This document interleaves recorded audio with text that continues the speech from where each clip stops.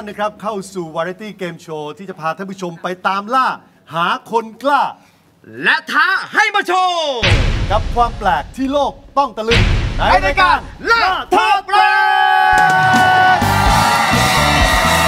เราจะมาพบกับท่านผู้ชมทุกสัปดาห์นะครับ ในเวที circus ของเราแห่งนี้ ครับผม รายการของเรานะครับ จะออกอากาศทางช่อง True4U หมายเลข24 เท่านั้นนะครับผมท่าน ผู้ชมครับ เราขอเป็นเวทีนะครับผมที่จะนำเรื่องราวนะฮะที่แปลกแต่จริงนะฮะที่จะทำให้คุณนั้นนะครับผมแบบว่า Amazing กันเลยนะฮะมาโชว์ความสามารถและแปลกกันถึงในห้องส่งกันเลยนะครับ รายการของเราจะมี 3 เซเลบผู้กล้า โอ้โห ที่จะมาล่าความจริงนะครับ มาหาคำตอบ พร้อมทั้งปรัชนีสุดแปลกของเราทั้ง 3 ท่านเลย ในวันนี้นะครับผมครับทั้ง 3 ท่านเลยนะฮะบอกเลยว่า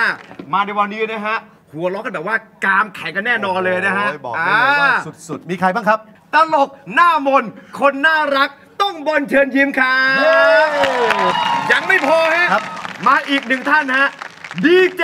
หน้าสยองป๋องกระพลทองพับครับแล้วมีใครครับ ตลกหน้าสวยรวยเสน่ห์แสนน่ารัก ต้องชมพู่ก่อนบ่ายไปพบกับผู้ล่าทั้ง 3 คนได้เลย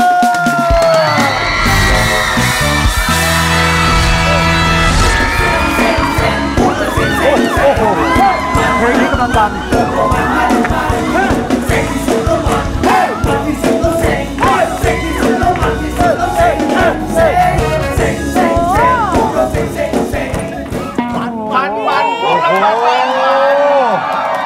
เป็นไงฮะเปิดตัวด้วยเพลงนี้ เปิดเซ็ตัวงด้วยเพลที่งสุนี้ดแล้วมันที่สุดเซ็งที่สุดแล้วมันที่สุดเพลงอะไรวะเซ็งมากๆเลยอะ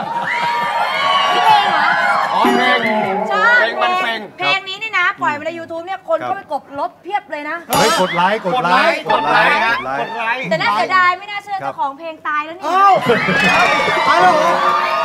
ตายแล้วเหรอตายแล้วก่อนอื่นจะต้องมาถามเลยนะฮะ ทั้งครับสามท่านนะฮะจ้าเคยเจอแบบว่าอืมเรื่องราวที่ แปลกที่สุดในชีวิตบ้างไหมครับผมครับ เริ่มจากคุณบอลเลย คุณอ่าแปลกที่สุดเลย สภาพเราไม่น่าเป็นหลักการเลยนะพิธีกรพิธีกรเขาเป็นพิธีกรหลักพิธีกรรายการอยู่เอ้ยเดี๋ยวออเขาเขาเชิญมาเหรือมึงจับฉลากได้เขาเเชิญมาเลยเชิญมาเลยนิ่งๆตั้งใจเออคุณต้องฟังผมครับ คุณครับทำไมเป็นพ่อกูไม่ต้องฟังเลยฮะตกลงเรื่องแปลกที่เคยเจอมาในชีวิตที่คุณเคยเจอเจอมาพบเจอมาอะคุณต้องเล่าเลยเพราะว่าที่คุณเคยเจอชี้มาคุณเฮ้ยโอ้โหผมเกิดอุ้ยแปลกแปลกโอ้โหสั้นๆพอให้เขาเล่าสิแล้วจะพูดตอนไหน อะพูดไม่หยุดเลยอะเอาเอาเอาเอาเร็วนะพูดเก่งพูดเก่งไปออกกระตุ้งกระติ้งอะเลยนะกระตุ้งกระติ้งเป็นปะเนี่ยเล่นไหมเล่นไหม เรื่องแปลอะกโอเคอะมาในวันนี้ทั้งสามท่านประจำที่กันเลยดีกว่าไปเลยเอาเชิญไปเลยไปเลยพอแล้วพอแล้วพอแล้วเขาไม่ถามด้วยเหรอที่ผมคุยกันเหนื่อยแล้วพอแล้วพอแล้วไม่ได้มาตัดผมไอ้บ้านวันนี้วันนี้ไม่แค่หูนะจ๊ะ คุณจะมากันโจรหรือไงเนี่ยไม่ได้มาตัดผมว่าไม่เป็นไรไม่เป็นไรต้องดูนะต้องดูนะครับอะไรอีกทีหนึงใครดับไฟวะว้าแม่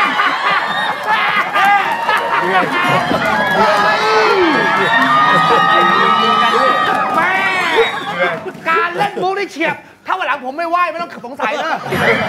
เฮ้ยไม่เคารพแล้วเหรอทั้งสามท่านนะฮะจะครับต้อผงมฟังกติกากันด้วยนะผม ถ้าครับเกิผมด เราสามารถจะตอบถูกนะฮะหนึ่งข้อ ครับรับเงิน 5,000 บาททันทีนะ ครับใครผม ให้อะนะ ใครให้อะไรฮะ ใครให้ ทางรายการฮะ โอ้โหโอเค ถ้าพี่หนุ่มผมเชื่อถือ เชื่อถือผมนะฮะ ผู้ล่าทั้ง 3 ท่านพร้อมแล้วนะครับพร้อมครับ ถ้าพร้อมแล้วไปพบกับคำถามแรกเลยครับ เย่ตรจิติโชเรงเกโชเรงเกสัมมาเกโชเรงเก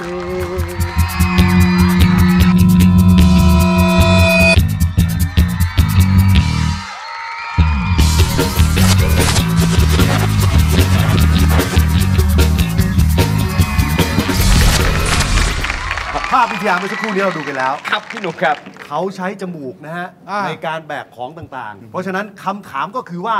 ใครได้รับฉายาว่า จมูกจอมพลังครับ ปัสนีทั้ง 3 ท่าน เชิญ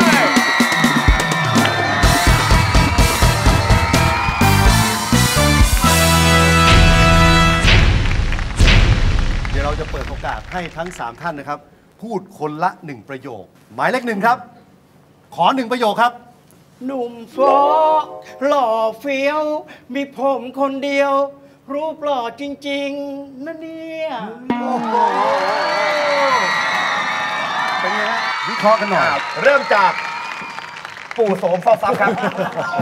พี่ป๋องเชิญกับเลยคครับนครับผมบอกเลยว่าผครัมบดูรู้เลยนะว่าเมื่อกี้เนี่ย เขาเป็นใครในนี้ ฮะ จาก VTR เนี่ย รู้เลยเหรอ ผมรู้เลย มีเฮ้ยคนดำบอกเยอะ ผมสามารถสื่อได้ ผมบอกเลยว่าหมายเลขหนึ่งเนี่ยไม่ใช่แน่ดูว่าไม่ใช่ ไม่ใช่ๆ เพราะว่าแขนเขาเล็กแต่คนใน VTR แขนใหญ่กว่านี้คุณชมพู่ก่อนบ่ายครับ ครับผม ตอนเนี้ยยังไม่อยากยังไม่อยากฟันธงมากว่าใช่หรือไม่ใช่ แต่ว่าความรู้สึกนะ เหมือนน่าจะใช่ เพราะคนที่จะมาเล่นอะไรเกี่ยวกับจมูกเงี้ยอย่างน้อยต้องเป็นพื้นฐานคนอารมณ์ดี ครับแล้วในวิดีอาร์เมื่อกี้ก็มีเหมือนร้องอะไรออกมานิดนึงแล้วสำเนียงการร้องเนี่ยคล้ายๆ กันเลยอะ คุณบอลเชิญยิ้มครับ ครับจากที่ผมดูแล้วนะ ครับการที่เอาอะไรเรียกบนจมูกเนี่ย ฮะมันไม่ใช่เรื่องง่ายครับนะฮะ เฮ้ยโอ้โหเฮ้ยมีอะไรป่ะ โอ้วิเคราะห์แล้วก็ เจาะลึกแบบน่ากลัวเลยทีเดียวอายุอานามของคุณลุงครับ ไอ้เดี๋ยวผมไปเก็บผ้าก่อน เฮ้ยไม่ใช่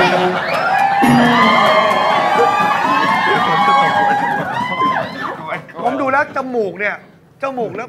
ไม่น่าจะเลี้ยงอะไรไหว เพราะจมูกเขาเหมือนตูดกบมาก เอาละครับ มาถึงหมายเลข 2 บ้าง อยากฟังเสียงเขาไหมฮะครับผม ถ้าอยากฟังผมขอหนึ่งประโยคครับ มีเงินนับเป็นน้อง มีทองนับเป็นพี่ นี่เดี๋ยวแค่เนี้ยพูดเพื่ออะไรมันเนี่ยมันเกี่ยวกับจมูกตรงไหนเนี่ยทำไมต้องยืน ผมยืนเพื่อทำการจ้องแล้วก็เพ่งเขา แบบตาต่อตาฟันต่อฟันครับนี่เอาสื่อเมื่อสารสักวิคญรู่ญาณนี้อีกมาแล้วเหแนรวอไสถูยกต้องศาสตร์ทำไมสื่อสารพวกสิ่งลี้ลับรู้เรื่องทำไมสื่อสารกับเมียเราไม่ค่อยรู้เรื่องเอออ่าไม่เถียงด้วยไม่รู้เขียนยังไง ผมบอกแล้วว่าคนนี้น่าสนใจ เพราะว่าจมูกเขาดูบี้บี้ครับหน้ากากอีซีทองที่ครอบหน้าเขาอยู่เนี่ยบดบังสายตาแววตาเขาไม่ได้หรอกครับผมรู้ว่าคุณคือคนที่อยู่ในวีทีอาร์ สองคนเนี่ยข้างๆคุณน่ะเอาแขนลง แต่คุณน่ะเอาแขนเก็บ เพราะคุณอายแขนคุณไงแขแขนนคุคุณณไม่แล้วคุณจะหงุดหงิดอะไรครับเนี่ย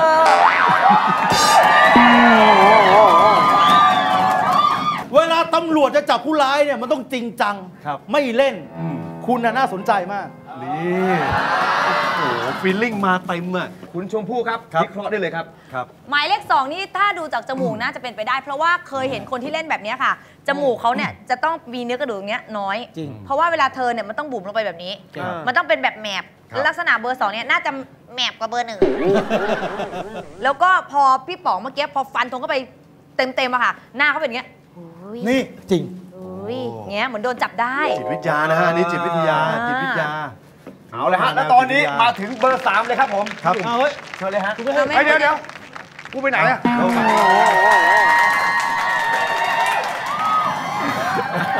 คนดูเขารอผมอยู่เอออะคุณบอลฮะวิเคราะห์สักนิดหนึ่งจริงๆนะ เหมือนกันถามว่าครับอาจจะมองไม่แตกต่างกันครับเพราะว่าดูแล้วเนี่ยพี่เนี่ยคือในการทำแบบนี้ต้องเป็นคนแบบกลางคนอืมกลางคนไม่ใช่วัยรุ่น แล้วก็ไม่แก่จนเกินไปครับในการที่แสดงอะไรแบบนี้ ผมมองดูแล้วว่า พี่เนี่ยไม่สามารถหลอกพวกเราได้ผมว่าน่าจะมั่นใจใช่นะฮะ เบอร์ 3 ผมรู้เลยฮะว่าเขาฮะเป็นใคร ใคร เด็กส่งแก๊สเนี่ยแหละครับผม ขอหนึ่งประโยคครับ ใครๆก็บอกว่าผมแซ่บเวอร์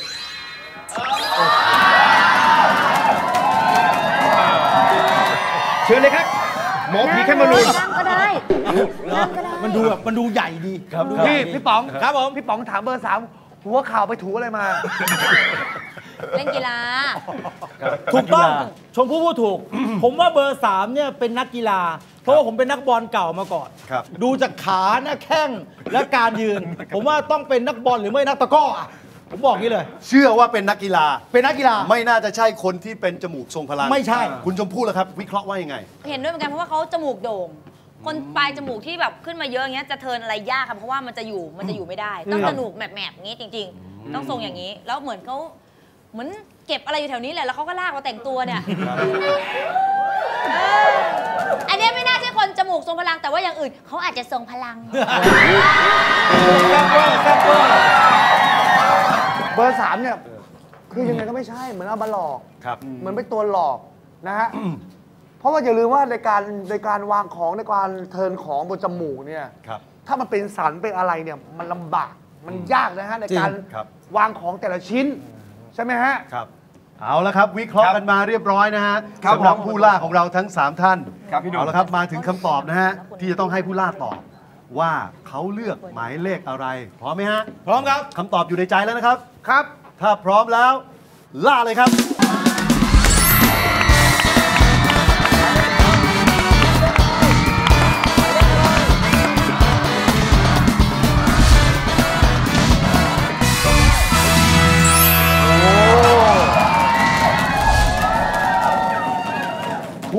มั่นใจ เอกฉันท์เลยนะฮะ เลือกเบอร์2กันทั้งนั้นเลยนะครับครับผมอะวิเคราะห์ครับผม คุณปองครับ ครับ ที่เลือกเบอร์สองเพราะว่าผมมีความมั่นใจอย่างที่บอกว่าผมอะพูดตรงๆว่าดู VTR เนี่ยมันสั้นมาก ครับ แต่ผมดูจากแขน แขนเขาเนี่ยดูเหมือนน่าจะใช่คนใน VTR มากที่สุด ชมพู่แล้วครับ ครับ เบอร์สามที่ตัดออกไปเลยค่ะ ลังเลเบอร์หนึ่งกับเบอร์สองเพราะว่าเคยเห็นคนที่ชอบเล่นแบบนี้ต้องเป็นคนขี้เล่นอารมณ์ดี เบอร์หนึ่งก็น่าจะเป็นไปได้ ครับ แต่ดูจาก อายุแล้วก็ลักษณะจมูกเหมือนกันที่ชัดเจนน่าจะเป็น 2%มากกว่า คุณบอลแล้วครับ เหมือนสองคนนี้ครับครับ คำพูดเหมือนกันครับ เดี๋ยวออกมาขอเป็บนหคุนึ่ณงมากครับ ไม่พูดต่อเลยฮะ มาถึงคำเฉลยว่าใครที่เป็นเจ้าของฉายา จมูก จอมพลัง ได้แก่หมายเลข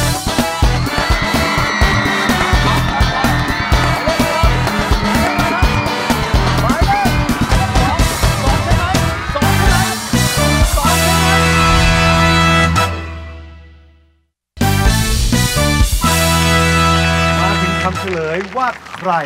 ที่เป็นเจ้าของฉายาจมูก จอมพลัง ได้แก่หมายเลข ผมอะพูดตรงๆว่าดู VTR เนี่ยมันสั้นมาก แต่ผมดูจากแขนแขนเขาเนี่ยดูเหมือนน่าจะใช่คนใน VTR มากที่สุดดูจากจมูกน่าจะเป็นไปได้ เพราะว่าเคยเห็นคนที่เล่นแบบนี้ค่ะ จมูกเขาเนี่ยจะต้องมีเนื้อกระดูกอย่างเงี้ยน้อยอืมลักษณะเบอร์สองเนี่ยน่าจะแหมบกว่าเบอร์คือในการทำแบบนี้ต้องเป็นคนแบบกลางคนอืมกลางคนไม่ใช่วัยรุ่น แล้วก็ไม่แก่จนเกินไป ผมมองดูแล้วว่าพี่เนี่ยไม่สามารถหลอกพวกเราได้หมายเลขหนึ่ง ผครัมบ ดูรู้เลยนะว่าเมื่อกี้เนี่ยหมายเลขหนึ่งเนี่ยไม่ใช่แน่ว่าแล้ว พลิกเลยฮะ พลิกเลย พลิกโผกันเลยนะฮะในข้อนี้นี่เบอร์หนึ่งออกมาไม่ได้เบอร์สองแล้วจะทำหน้าตกใจเวลาโดนทักทำไม เอาละครับ ขอเชิญ หมายเลขหนึ่งครับ มาเลยครับผมชื่อธนพันธ์โพธินาคนิกเนมที่ใช้อยู่ประจำก็คือ โชเล่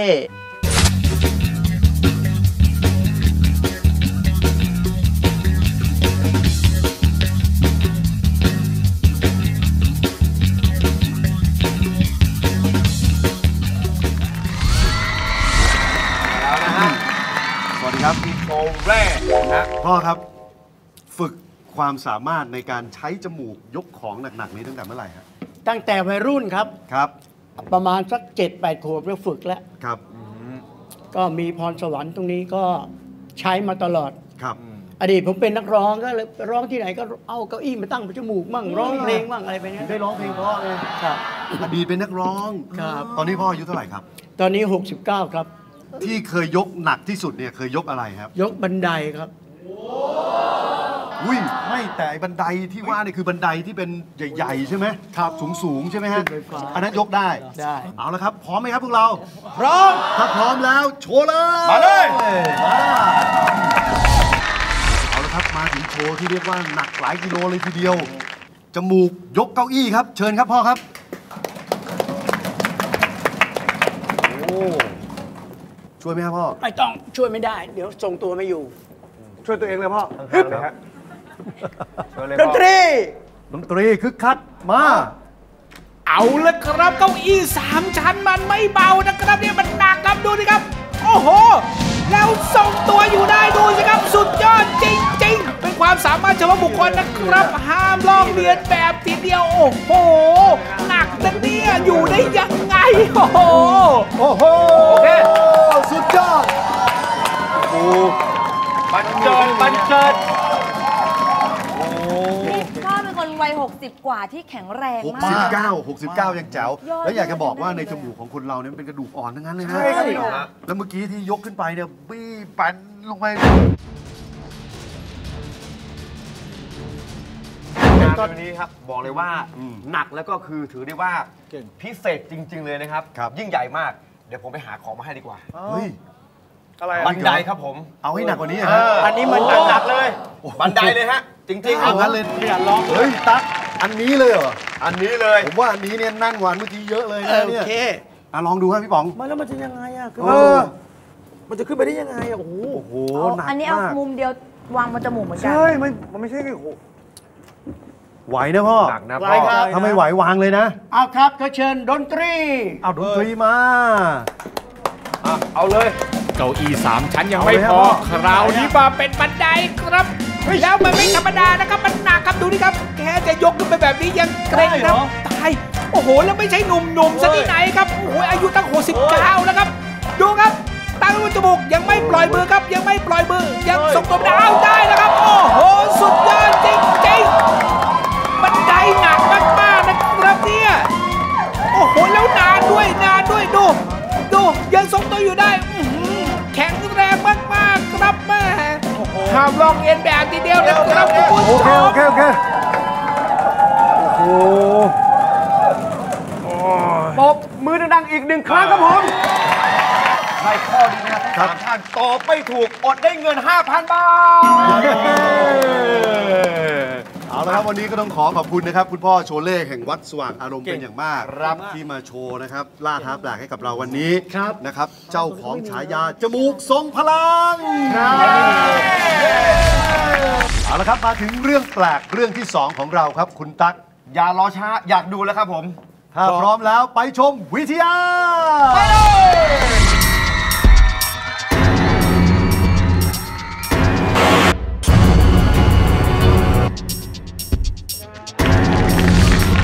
ด้เห็นเรื่องราวน่าจะเป็นเรื่องราว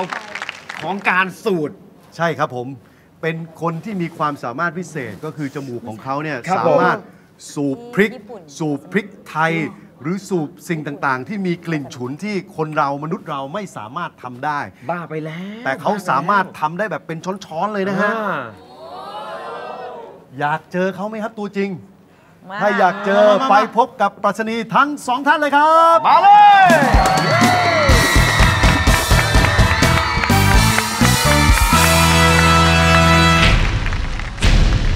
ข้อนี้นะครับครับพี่กติกาของเราชัดปรัชนีทั้ง 3 ท่านเนี่ยคุณสามารถเข้าไปดูใกล้ ๆ ได้เลย คนไหนเป็นคนที่ซีดพริกเข้าจมูกนะครับ คุณบอลพยายามสังเกตจมูกครับแม่ก็ต้องที่จมูกสินะจะที่อื่นได้ยังไง คุณชมพู่ครับมาดูแล้วครับนี่ครับโอ้โหขนจมูกก็เยอะเอ้ยไม่ใช่ไปแตะแตะครับไปถาม โอ้ยเขาไม่ตอบหรอกครับแหมตอบก็รู้สิ ตามด้วยพี่ป๋องครับพี่ ป๋องมาดูครับนี่ครับดูจมูกแล้วก็ไปด้านหลังเกี่ยวไหมครับพี่ป๋องมันพ่อผู้ล่าทั้ง3นะครับ ถึงเวลาที่จะต้องเลือกแล้วนะฮะล่าเลยครับ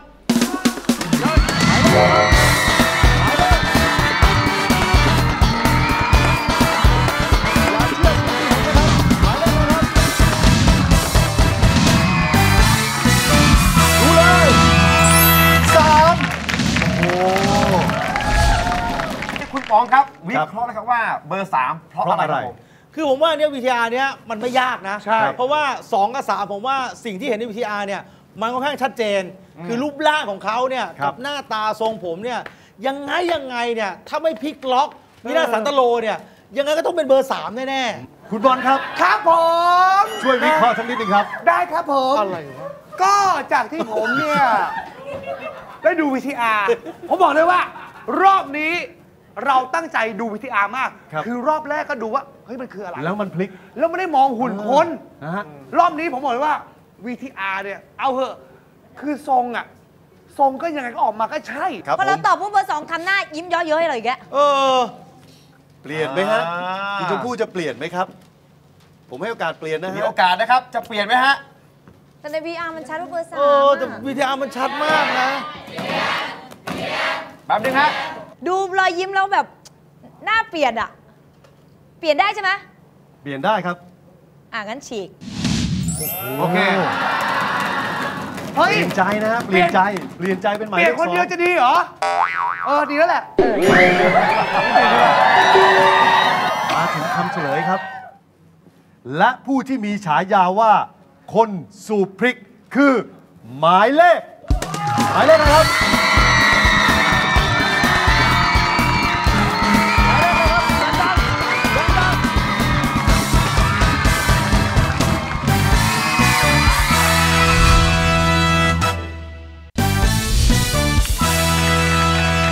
และผู้ที่มีฉายาว่า คนสูบพริกคือหมายเลข หมายเลขอะไรครับ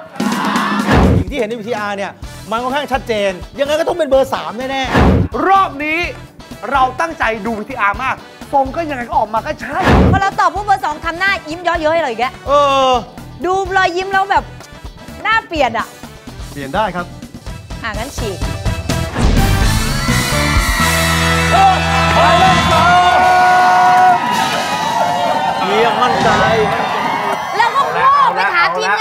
ลี่ยนหรือเปล่าพยักหน้าเปลี่ยนเออเขาจะได้จ่ายตังค์น้อยลงไงอีบ้าชื่อชาตรีนัสรีครับชื่อเล่นชื่อออสครับพริกอะไรก็ได้ครับเม็ดแรกมันจะมีแสบตรงนี้หน่อยหนึ่งแล้วก็แต่มันจะเย็นข้างใน พอสักพักมันก็หายเป็นปกติหน้าของเรา มีพริกป่นนะฮะ พริกไทย วาซาบิ แล้วก็พริกกระเหรี่ยงแบบที่คุณตั๊กขอไว้ ใช่ นะฮะ ขอเชิญทั้ง 3 ท่านใกล้ ๆ เลยนะมาดูใกล้ ๆ เลย ครับ โอ้เอาละครับคุณนอตครับ เราจะลองอะไรก่อนดีฮะอันนี้อะไรนี่เอาเป็นพริกป่นก่อนดีกว่าพริกป่นพริกป่นจริง ๆ นะครับของจริงเปล่าไอ้ตั๊กลองชิมดิลองดูนะฮะเป็นไงเผ็ดไหมเฮ้ย ของจริงว่ะบอลมึงให้กูกินเพื่อเอ้าเพื่อให้คนดูได้รู้ว่าเอาคนดูเขาไม่รู้กับเราด้วย เฮ้ยพริกป่นจริงหรือเปล่ารายการเฟซขึ้นมาหรือเปล่า ใช่ไหมคุณเป็นพิธีกรเออ ต้องลองให้รู้พี่ป๋องพี่ป๋องลองกินให้คนดูดูลองกินดู มั่นใจป่ะเนี่ยกินได้ป่ะกินได้ป่ะลองลองเอากินเผ็ดกินเผ็ดด้วยป่ะเอาจริงพอได้อ่าโอเค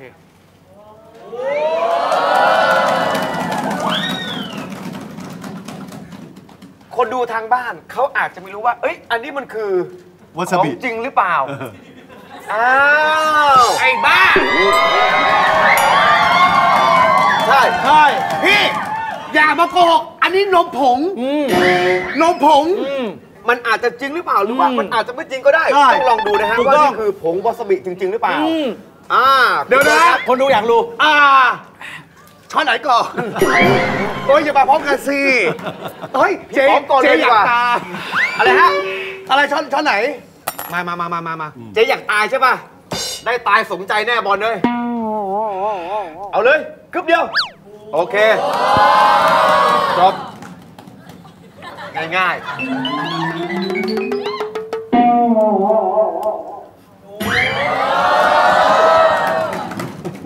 นี่แหละ ไม่ใช่ใช่ไหคนจมริงมันคือนมผงใช่ไหมพี่บอล คนจริง ไม่รู้สึกเลยของปลอมเด็เดี๋ยวนะ ให้กูกินเพื่อไม่ครับเผ็ดไหมเฮ้ยแล้วนั้นของพี่เผ็ดยันฟันเลยอะ ฟันหน้ากระเพื่อมเลยอะโอ้ยมีคนช่วยคุณตั๊กบริบูรณ์พิสูจน์แล้ว ของจริงฮะของจริงทั้งหมดนะฮะ ของจริงเผ็ดไหมออกพี่บทีวี เผ็ดมาก หันหน้าเข้าหากล้อง ออกทีวีอยู่นะ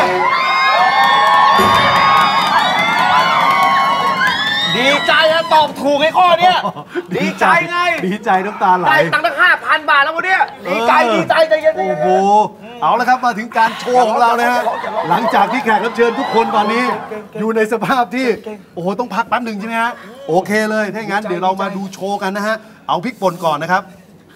คุณน็อตพร้อมนะครับพร้อมครับถ้าพร้อมแล้วโชว์เลยอ้าวเอาละครับโอ้ตักยพริกป่นขึ้นมาแล้วครับ เอ้ยลุ้นจะบ้าตายพริกเข้าปากยังเผ็ด นี่จะซูดเข้าจมูกแล้วก็ซูดกันไปแล้วครับดูครับคุณผู้ชมโอ้โหย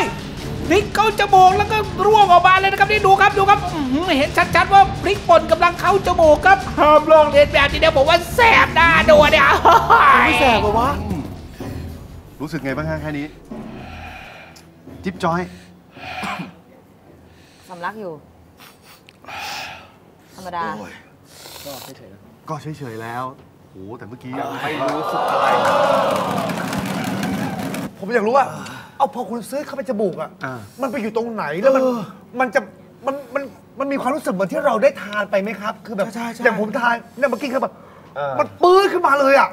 คือมันทุกทุกอย่างพวกเนี้ยมันเป็นสิ่งที่มันละลายน้ำอยู่แล้วคือเวลาเรากินไปมันก็ย่อยอยู่แล้วแต่อย่างเงี้ยคือโพรงจมูกก็ก็โซนเนี้ยพี่มันก็ลงคอหลอดคอเหมือนกันแต่เราอยากจะเตือนท่านผู้ชมที่ดูอยู่ทางครับบ้านนะ บอกว่านี่เป็นความสามารถเฉพาะตัวนะครับห้ามลอกเลียนแบบจริง ๆ อันนี้เขาฝึกมาอย่างเชี่ยวชาญแล้ว แล้วก็ทำอยู่เป็นประจำนะฮะด่านต่อไปนะฮะเป็นพริกไทย คุณผู้ชมครับไทยพริกไทยแค่โชยเขาจมูกนี่ก็จามกันหน้าดำหน้าแดงแล้วนี่จะซูดเขาจมูกครับดูครับเอ้ยซูดกันไปแล้วครับ บ้าไม่ใช่ยานัดนะพวกคุณดูครับโอ้ยซูดกันไปอย่างแรงครับ และดูหน้าสิครับ โอ้ยสดชื่นแหมโจ๊กสักถ้วยไหมพี่ เอ้ยเขาก็มีอับสำลักอยู่นะ ก็มีก็มี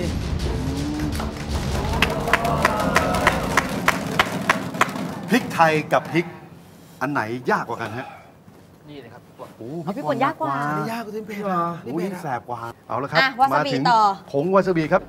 เป่าปากเลยอะและครั้งแรกกับวาซาบิครับผมวาซาบินี่มันแสบหน้าดู โอ้โหแค่กินก็สยองแล้วครับ จะซูดก็จมูกดูนะครับ ที่พับแล้วก็ซูดก็จมูกไปแล้วครับ โอ้โหโอ้ยชีอ้าวอร่อยโอ้ยได้ปูอัดสักอันนะ อร่อยทีเดียวพี่ เอาละครับตอนนี้รู้สึกเป็นไงบ้างฮะก็เหมือนกิน เหมือนรับประทานเข้าไปอะก็คือมันจะขึ้นจมูกมันจะมีความรู้สึกเหมือนน้ำตาออกมา เวลาที่เรากินอาหารญี่ปุ่นอย่างนั้นไหมฮะมีครับตอนนี้เริ่มมีข้างซ้ายมีไอ้ข้างขวานิดนิดอ๋อขึ้นเหมือนกันอุ้ยงี้ดีไปไม่เปลืองไม่ต้องเปลืองปั้นก็ซื้อเข้าไปแล้วกินไปดิบตาม ขอเสียงปรบมือให้กับออสคนสูบพริกด้วยโอเคแต่ว่าตอนนี้ต้องมาสรุปนะฮะครับผมทั้ง 3 ท่านนะครับผม ในข้อนี้นะฮะ พี่บอลรับเงิน 5,000 บาทเย้พี่ป๋อง5,000 บาท คุณชมพู่ไม่ได้เงินเอาละครับผู้ล่าทั้ง 3 ท่านประจำที่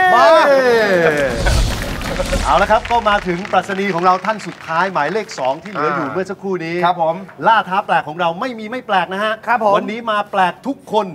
อยากทราบไหมครับว่าเขามีความแปลกอะไร อยากครับ ถ้าอยากทราบพบกับปรัชนีหมายเลขสอง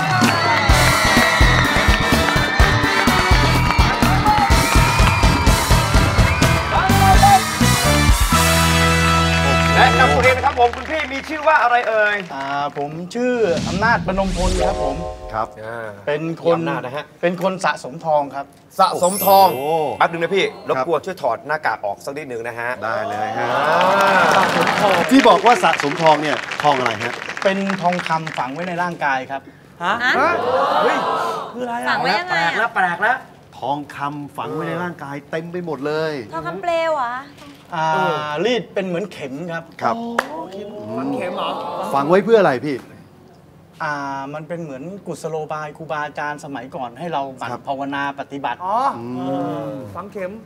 ฝังไว้ตามร่างกาย มีมีกี่เล่มฮะทั้งหมดในร่างกาย มีประมาณ 10นะครับมี10 โหล สิบโหลสิบโหล ร้อยยี่โหสิบลเล่มพี่ครับเข็มเนี่ย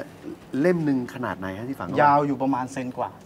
เซนกว่าครับ ๆเป็นทองคำเป็นทองคำจริง ๆ ใช่ไหมครับกระยัดเข้าไปในเนื้อนี่เลยเจ็บไหมพี่ไม่เจ็บครับ ที่เราไปจับไปโดนมันเนี่ยไม่เจ็บแล้วมันจะไม่มีแบบจังหวะผ้าไปโดนเส้นเลือดมั้งเหรอ อืมหรือว่ามันอยู่ในชั้นที่มันไม่ถึง เขาปักตรง 90 องศาใช่เขาจะไม่ได้ปักทะแยงนะครับ เข็มยาวเซนกว่าจะทิ่มตรงๆ 90 องศาลงไปเลย ทิ่มลงไปลงอะไปตรงๆนี่นี่คอก็มี โอ้โหโอ้โหอืม ครับผมอยากเห็นไหมครับว่าเข็มที่อยู่ในร่างกายของเขาเนี่ยเป็นอย่างไร เดี๋ยวเราดูแผ่นเอ็กซเรย์กันนะฮะเอาไปเซเลมาแล้วเหรอ เอ็กซเรย์มาแล้ว นี่หนูช่วยถือนี่ฮะ ไหนตัวเข็เข็มมโอ้นี่ไงนี่ไงกระจายอยู่ตามร่างกายเต็มเลย เต็มไปหมดเลยอะ ในบางกรณีเนี่ยเขาต้องการจะใส่โลหะ หรือใส่เม็ดใส่อะไรบางอย่างเข้าไปในลำตัว ต้องการให้เม็ดหรือโลหะเนี่ยสามารถเคลื่อนได้ นั่นคือเขาก็พยายามที่จะนวดจะคลึงหรือพยายามจะขยับ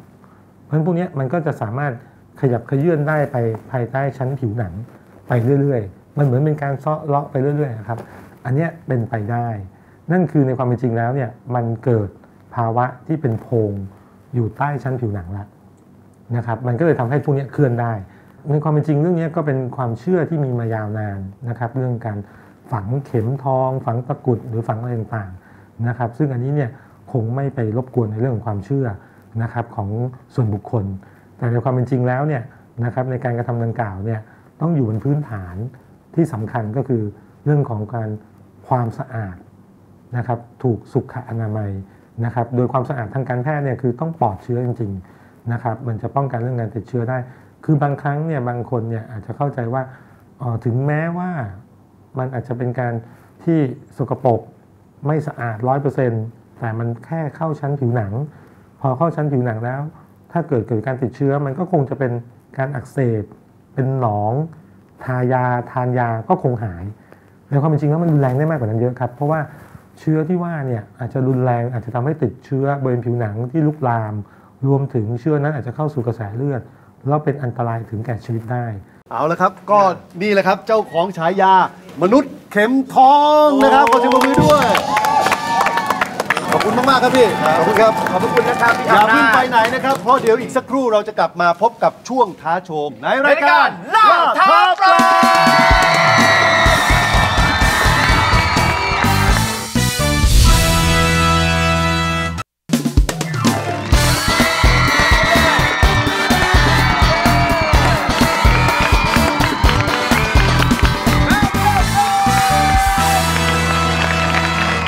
นี้นะครับ เราจะนำคนที่เก่ง ครับ และมีความสามารถในด้านต่างๆ มาโชว์ในรายการ ถูกต้องครับพี่หและนุ่มถ้าเกิดว่าสามารถนะครับทำตามคำท้าของเราได้สำเร็จรับไปเลยครับ ถ้วย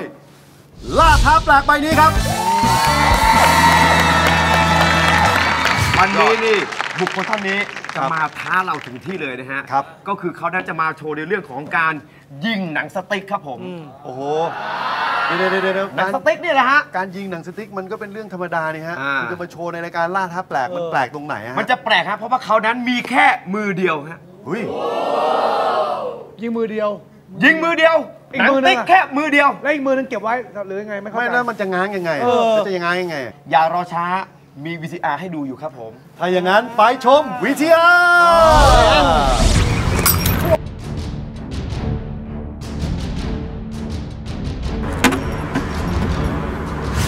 สวัสดีครับผมชื่อนายราชันจันทร์ชื่อเดียวนะครับ ความสามารถพิเศษของผมคือยิงหนังสติ๊กมือเดียวได้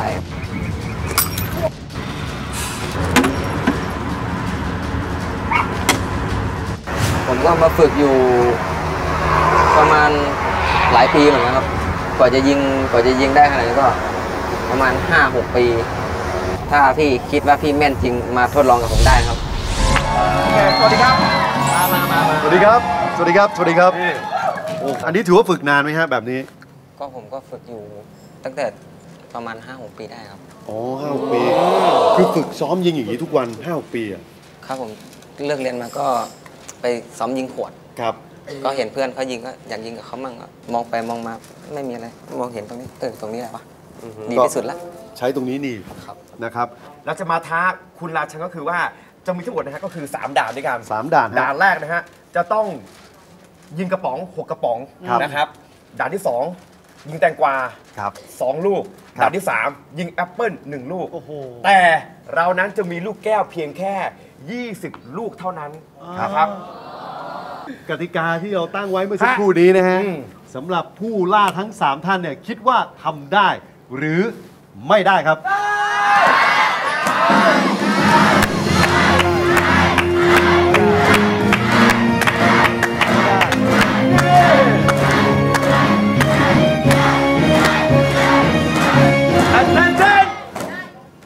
พี่ป๋องครับ ผมบอกเลยนะครับ ผมเห็นออร่าในตัวเขาบางอย่างที่เขาพิเศษกว่าคนอื่นอืมโอเคมีศัพท์ต้องมีสำนวนนะฮะ คือคือเขาอาจจะไม่มีแขนข้างเดียวแต่ว่าไอการฝึกเขา5ปีที่ผ่านมาเนี่ย ครับ ผมว่าเขาทดลองมาทุกอย่างแล้ว แล้วผมเชื่อว่าเขามีพรสวรรค์ อ่า ผมว่า 20 ลูกกับทั้งหมดที่ให้มากระโจทย์เนี่ย ผมว่านะ ผมเชื่อมั่นนะ ผมว่าเขาทำได้ อ่ามั่นใจ มั่นใจเต็มร้มั่นอยใจว่าทำได้นะฮะเต็มร้อย คุณชมพู่ครับ คุณชมพู่ครับ ทึ่งในความสามารถที่ทำได้เหมือนกันนะคะ แต่อย่างชมพู่เนี่ยรู้สึกว่าโจทย์วันนี้ไม่ง่าย แล้วโดยปกติเวลาเห็นถ้าไม่ใช่ยิงในสถานที่ตัวเองคุ้นเนี่ยมาเจอแสงมาเจอลมแอร์มาเจออะไรหลายๆอย่างเนี่ยความผิดพลาดจะเกิดได้สูง ความตื่นเต้นเชื่อว่าทำทำได้มีความเก่งนะ แต่โจทย์วันนี้อาจจะยากไปอาจจะมีความผิดพลาดเกิดขึ้นได้ คิดว่าไม่ได้ค่ะ อันนี้อันนี้ข้อดีความเห็นเริ่มจะแตกต่างกันแล้วนะฮะ ผมมั่นใจ ได้หรือไม่ได้ ถ้าไม่เจ๋งจริง ไม่แน่จริงครับ บุคคลคนนี้ถึงแม้จะมีมือเดียว เขาจะต้องมีอะไรที่เหนือกว่าเราสองมือ ผมมั่นใจว่าได้เอาตอบมาแล้วว่าได้ พี่ป๋องบอกว่าได้นะครับคุณชมพู่บอกว่าไม่ได้ เพราะวันนี้ตื่นเต้นอ่าอาจจะมีความผิดพลาด คุณบอลมั่นใจว่าได้ ถ้าไม่แน่จริงไม่มาล่าท้าแปลก คุณราชันพร้อมไหมครับ พร้อมครับผม ถ้าพร้อมแล้ว โชว์เลยครับ มาขอเชิญตรงกลางนิดนึงนะฮะ เชิญจ้ะเชิญเลยครับ นี่ฮะ เป็นอุปกรณ์ที่จะให้ซ้อมเพื่แต่อ ว่าก่อนอื่นเนี่ยนะฮะครับผมเราควรจะมีตัวแทนครับ ที่เรียกกันว่าหนูทดลองนั่นเองนะฮะพี่ป๋องดีกว่าพี่ ผมเหรอ เออตบมือเอาของจริงเลยพี่หนึ่งครั้งขอดูของจริงเลยไม่จริงเดียวเลยหันหลังได้ไหมครับ หันหลังได้ไหมให้ ให้ให้ให้ให้ให้นักบอกหันหลังได้ไหม ให้น้าป๋องหันหลังได้ไหมอะเอได้อเอาเลย เอาเว้ย เฮ้ย เฮ้ย ไม่ถามพี่ตะคำเลยเหรอ ไม่คือคุยกันไม่ถามพี่ตะคำว่าพี่สมัครใจไหมเขาบอกว่า safety แล้ว เหรอ หันหลังไง save เขาหรือ save พี่ อะไรฮะ save ใคร save เขาดิพี่เอ้ย หันหลังก่อน หันหลังผมแต่เชื่อพี่ผมดิ พี่แก่แล้วนะอะไรนะฮะ พี่แก่แล้วนะ ไม่ต้องกลัวนะหนึ่งสองสามหันหลัง เก่งจังเลยเราอะเก่งจังเลยกับพี่อะพี่ไงบอลไม่เห็นกล้าอย่างนี้เลยอะพี่ก็ข่มจังเลย ไปรายการไหนข่มหรือกูเนี่ยพี่ไงบอลไม่กล้าล่ะเออมันรู้ความลับเยอะเอาละครับ เป็นปัญหาส่วนตัวนะครับ อันนี้เงยหน้าจะได้ยิงเงยหน้าง่ายๆใช่ไหมนั่นแหละ นั่นแหละอุ้ยโ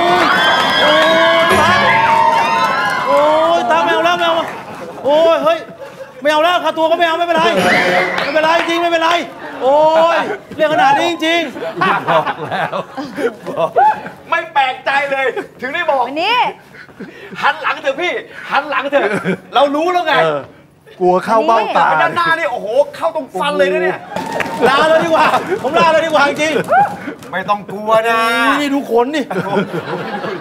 คนลุกสู้เลยยิ่งกว่าลุกเลยอะยิ่งกว่าเห็นผีกอะแอร์มันเย็นยังไงพี่ที่นี่ โอ้มึงเอาไม่ได้มาสิอะมาสิมากูก็ไม่เอาเหมือนกัน แล้วไม่ขู่สู้มันอะเมื่อกี้นะไอ้บอลอะมันรู้ความลับผมเยอะ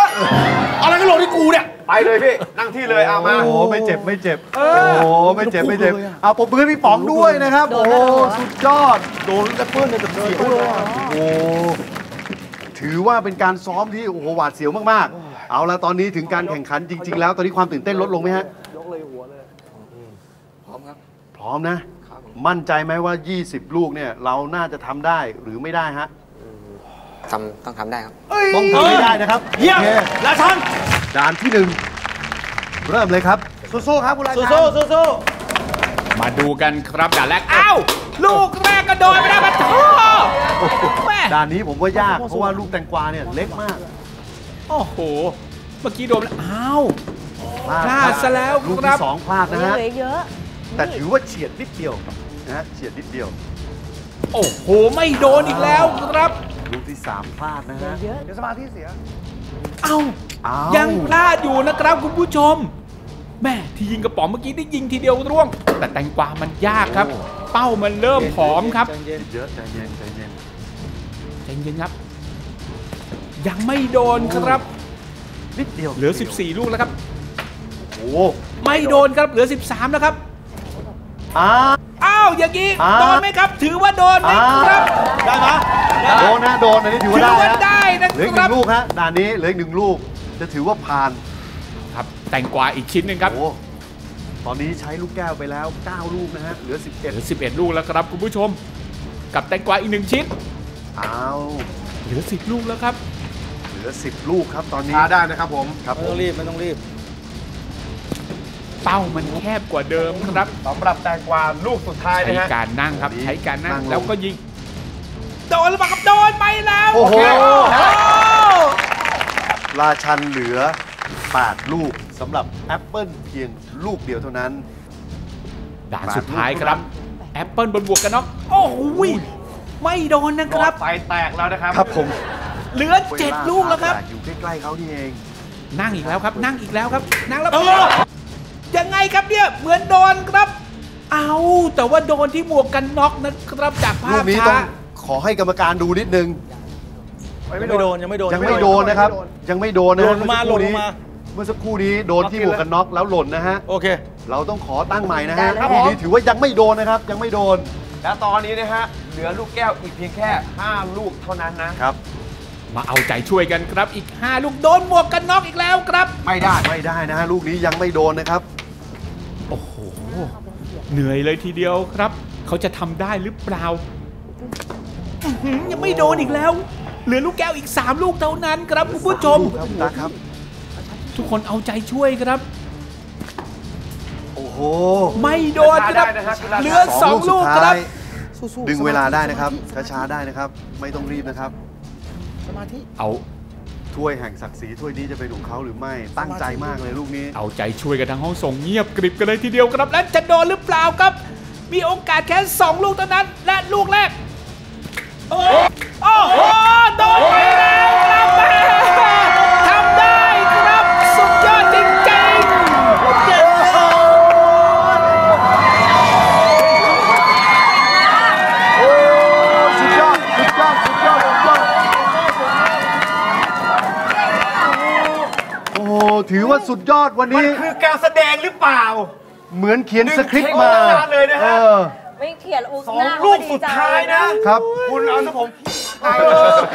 ไม่กล้าเลยกลัวไม่กล้ากลัวเลยอะ นี่และไอ้เราทายเขาไม่ได้แต่ตัวเองก็รู้นะต้องได้นะต้องได้นะ เอาละครับผลสรุปทำสำเร็จนะครับ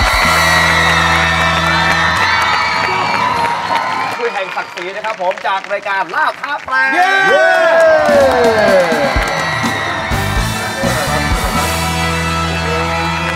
นี่นะครับก็ต้องขอขอบคุณนะครับคุณราชันนะครับ เรียกว่าเป็นสุดยอดหนังสติ๊กมือเดียวเยี่ยมเลยนะฮะสรุปเงินรางวัลกันก่อนนะครับผครับมผมโอ้โห